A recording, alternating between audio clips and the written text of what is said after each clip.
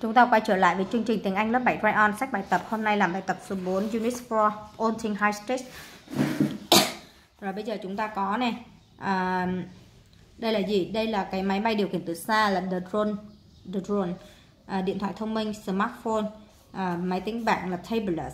À, tai nghe thực tế ảo là virtual head, uh, virtual reality headset.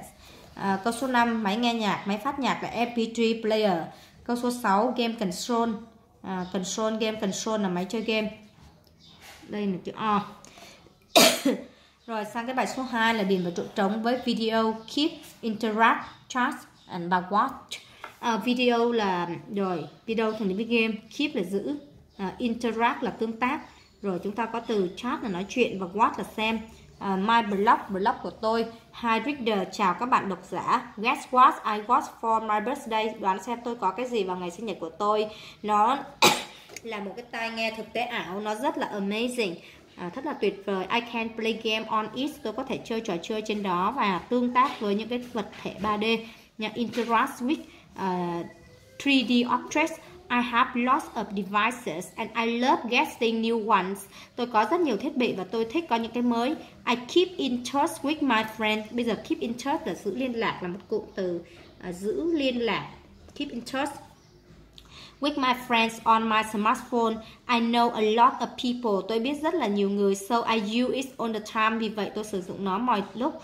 Uh, I chat with them just before I go to bed at night. Tôi nói chuyện với họ trước khi tôi đi ngủ.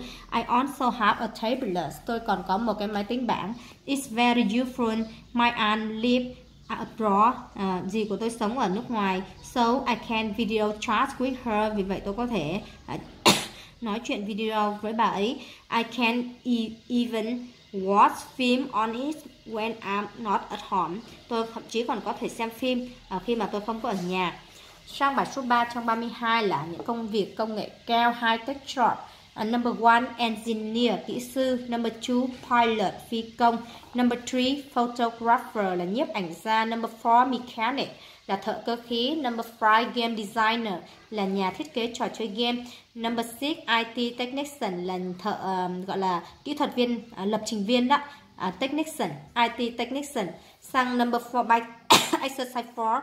look at the picture and write the job and choose the correct option uh, Tim Baker live on a small island Tim Baker sống trên một hòn đảo nhỏ there are many people there and everyone has more than one job không có nhiều người sống ở đó cho nên là à, mỗi người thì có nhiều hơn một công việc Tim has four Tim có bốn nghề nghiệp luôn in the morning he work as a game designer and design game for computer.